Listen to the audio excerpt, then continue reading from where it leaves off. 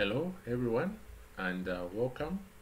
In this uh, video we are going to look at the solutions to question number 4 for biology paper 2 for GCE 2018 examinations. So this is question number 4 and question number 4 had uh, figure 4.0.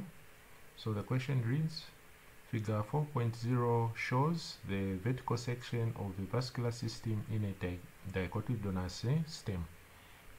So here we have the structure, we have uh, S, we have the cambium and also T. So vascular bundle always has two structures, uh, xylem and the phloem as well as the uh, cambium separating the two bundles. So the first question is uh, A which is saying identify structure T.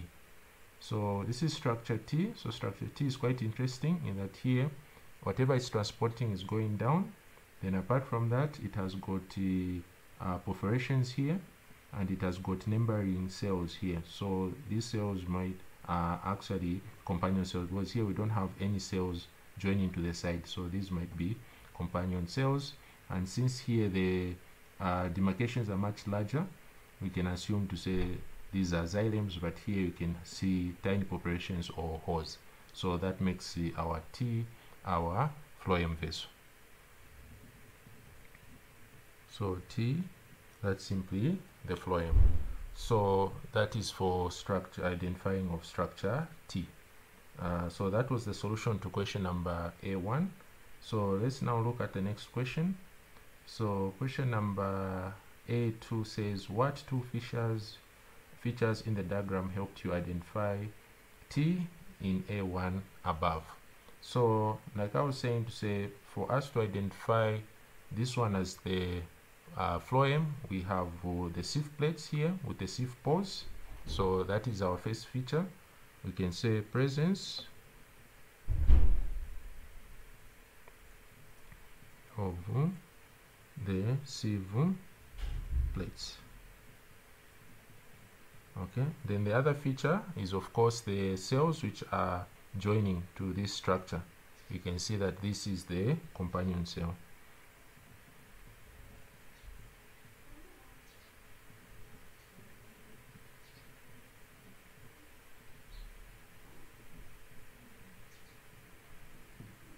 So we have presence of the companion cells. So we have uh, this one and the other one on top there so this is the solution to question number a2 we can move on to the next uh, question.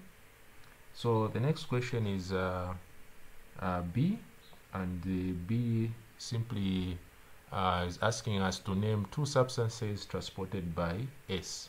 So structure s is simply the xylem vessels so the xylem vessels are actually in charge of transporting water and mineral salts.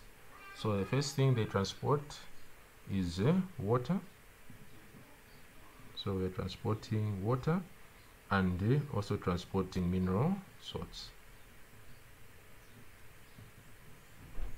So those are the uh, substances which are transported by the xylem vessels.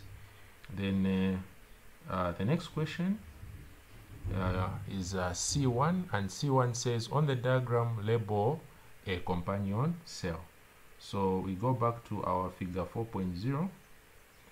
So figure 4.0 here we said that uh, these cells which are, joining structure uh, T is actually the companion cell. So you can label N. So whenever we label, always make sure you use a label line, don't use an arrow.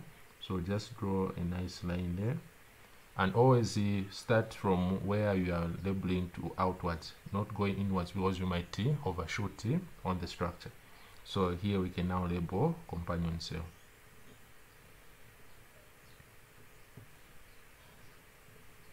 So that is uh, the solution to question number c1 so we have labeled on our diagram.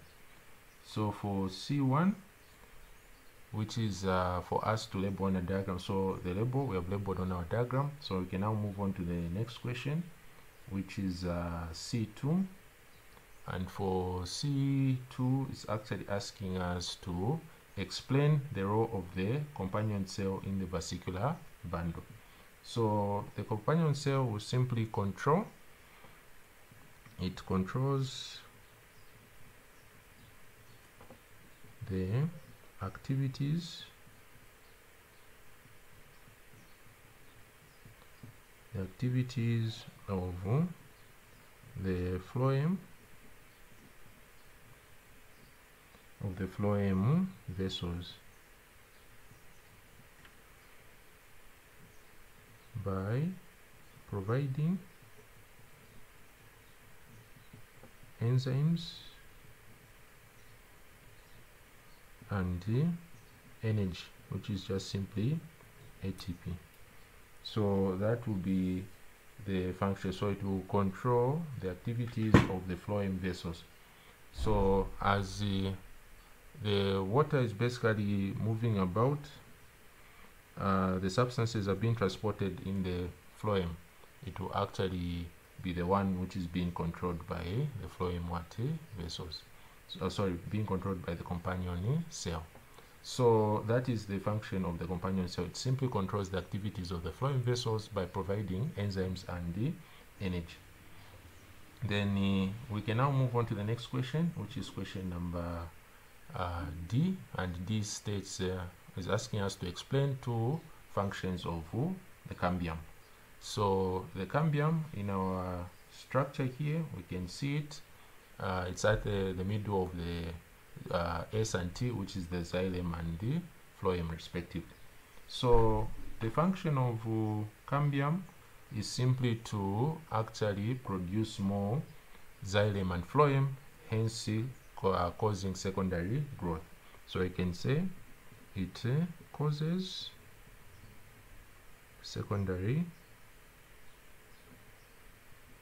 causes secondary growth